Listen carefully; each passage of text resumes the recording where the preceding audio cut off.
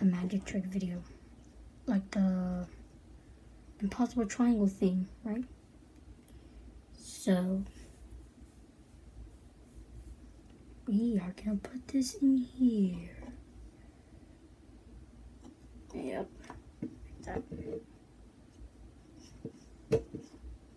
Put it in there. Now. But look, you know what? It doesn't even fall out. See? We don't see anything. Well,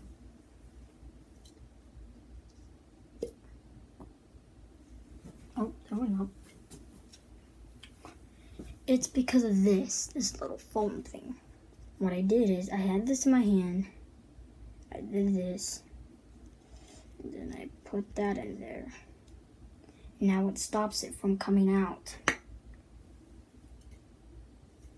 If you want me to do some more tricks, like card tricks, I'll love you to do that.